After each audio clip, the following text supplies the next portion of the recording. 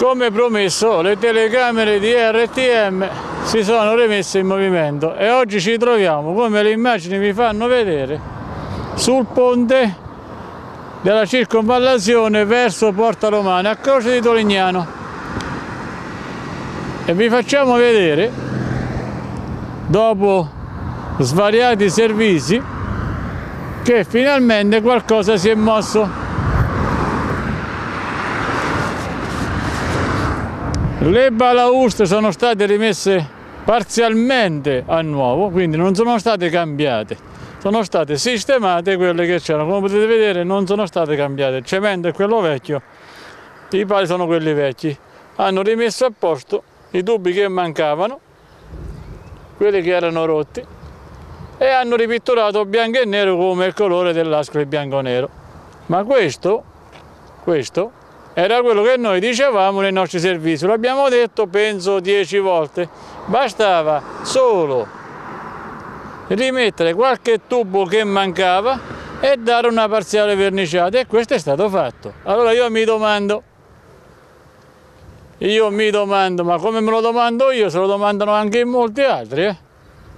Noi abbiamo avuto il ponte più schifoso d'Italia per vent'anni perché quella schifezza che voi state vedendo adesso dalle immagini come era prima, qui c'è stato vent'anni così, con la plastichetta rossa, con i cubi di cemento, abbandonato a se stesso. Adesso, come possiamo notare, abbiamo ridato un po' di decoro all'ingresso verso il quartiere più popoloso di Ascoli, il quartiere di Monticelli, verso l'ospedale, no? Verso, verso lo stadio, chiamiamolo stadio, no? Chi viene ad Ascoli, che esce dalla superstrada, che va verso lo stadio, passa su una cosa decente, perché questa è una cosa decente.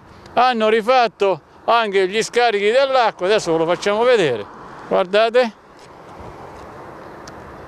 Diciamo che è stato fatto un bel lavoro, così l'acqua invece di andare lungo la strada, lungo la carreggiata, va sotto dove dovrebbe andare normalmente. Ma per fare questo, ripeto, possibile che ci volevano vent'anni?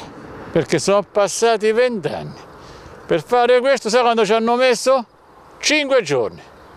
L'ho controllato io personalmente. Cinque giorni per fare questo, tre persone. Non è che è venuta una squadra di 400 persone. Tre persone erano quattro con il furgone, un furgone tre persone, e hanno fatto questo. Una saldatrice, quattro punti di saldatura, 10 kg di vernice, perché tanta è, perché da quello che vedo, 10 kg di vernice. Però gliel'abbiamo data, una passatella gliel'abbiamo data. Quindi, quattro saldature, quattro tubetti nuovi, 20 anni, ci siamo fatti prendere in giro per non dire un'altra cosa, oggi voglio essere un po' più soft. Ci siamo fatti prendere per i fondelli da tutti quelli che sono passati qui sopra. E come vedete dalle immagini, qui ci passa tanta gente.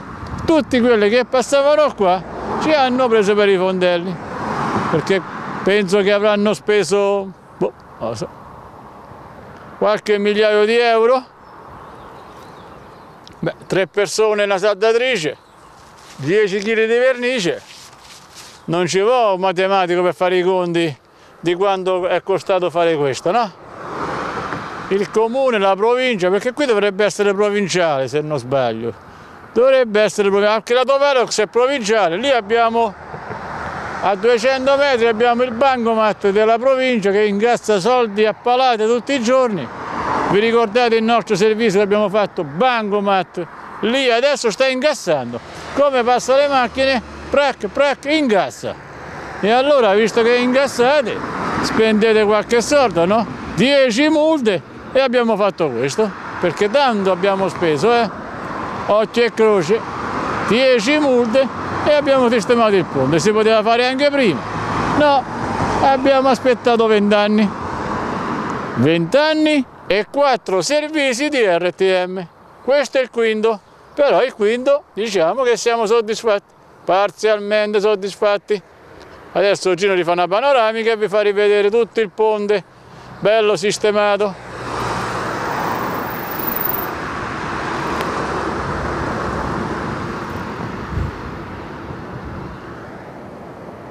Quindi, da Bernardino Comandini e da Gino Renato Fratini, soddisfatti del lavoro ottenuto, il risultato c'è, quindi andiamo avanti con i nostri servizi perché possiamo dichiarare, oggi lo dichiariamo, che dovunque siamo andati noi, poco dopo l'intervento è stato fatto. non ci vogliamo prendere tutti i meriti, eh, sarebbe troppo bello, ci prendiamo una parte di merito, una parte, che questa cosa forse è stata fatta anche grazie ai nostri servizi, forse, mettiamola così. Da Monticelli, Croce di Tolignano, il Ponte della Vergogna, per oggi da Bernardino Comandini e da Gino Renato Fratini è tutto.